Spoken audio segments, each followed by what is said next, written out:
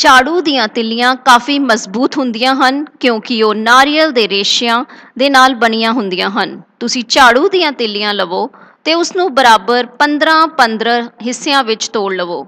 ਇਸ ਤੋਂ ਇਲਾਵਾ ਤੁਹਾਨੂੰ ਕੁਝ ਰਬੜ ਬੈਂਡ ਤੇ ਕੁਝ ਧਾਗਿਆਂ ਦੀ ਵੀ ਲੋੜ ਪਵੇਗੀ। ਹੁਣ ਤੁਸੀਂ ਤਿੰਨ ਡੰਡੀਆਂ ਲਓ ਤੇ ਉਸ ਦੇ ਸਿਰੇ ਤੇ ਰਬੜ ਬੈਂਡ ਬੰਨ ਲਓ। ਦੋ ਹੋਰ ਝਾੜੂ ਦੀਆਂ ਤਿੱਲੀਆਂ ਲਓ ਤੇ ਉਸ ਨੂੰ ਪਹਿਲਾਂ ਵਾਲੀਆਂ ਤਿੱਲੀਆਂ ਦੇ ਸਿਰੇ ਤੇ ਰਬੜ ਬੈਂਡ ਨਾਲ ਬੰਨ ਲਓ। ਤੁਸੀਂ 6 ਝਾੜੂ ਦੀਆਂ ਤਿੱਲੀਆਂ ਤੇ 4 ਰਬੜ ਬੈਂਡ ਨਾਲ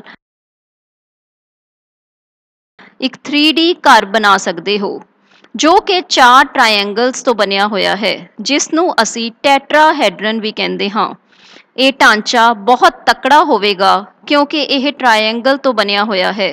ਹੁਣ ਤੁਸੀਂ ਰਬੜ ਬੈਂਡ ਨੂੰ ਖੋਲ ਕੇ ਧਾਗੇ ਨਾਲ ਵੀ ਬੰਨ ਸਕਦੇ ਹੋ, ਕਿਉਂਕਿ ਰਬੜ ਬੈਂਡ ਬਾਰ-ਬਾਰ ਖਿੱਚਣ ਨਾਲ ਖਰਾਬ ਹੋ ਸਕਦਾ ਹੈ, ਪਰ ਧਾਗੇ ਕਾਫੀ ਲੰਮਾ ਸਮਾਂ ਚੱਲ ਸਕਦੇ ਹਨ।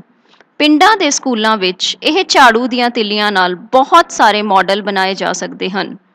ਪ੍ਰਿਜ਼ਮ 9 ਡੰਡੀਆਂ ਦੇ ਨਾਲ ਬਣਾਇਆ ਜਾ ਸਕਦਾ ਹੈ, ਤੁਸੀਂ 12 ਡੰਡੀਆਂ ਦੇ ਨਾਲ ਕਿਊਬ ਵੀ ਬਣਾ ਸਕਦੇ ਹੋ ਤੇ 8 ਡੰਡੀਆਂ ਦੇ ਨਾਲ ਪਿਰਾਮਿਡ ਬਣ ਜਾਂਦਾ ਹੈ। ਆਕਟਾਹੈਡਰਨ ਬਣਾਉਣ ਲਈ ਤੁਹਾਨੂੰ 12 ਤਿੱਲੀਆਂ ਦੀ ਲੋੜ ਹੈ, ਕਿਉਂਕਿ ਇਹ 8 ਟ੍ਰਾਇੰਗਲਸ ਨਾਲ ਬਣਿਆ ਹੈ, ਇਸ ਲਈ ਬਹੁਤ ਤਕੜਾ ਹੈ।